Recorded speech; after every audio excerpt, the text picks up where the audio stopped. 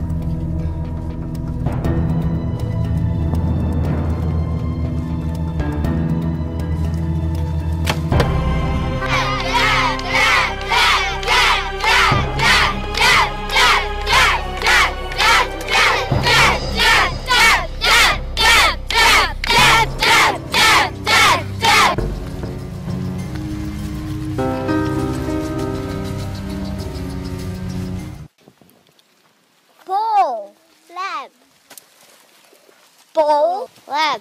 Oh. Lab. Oh. Lab. Ball.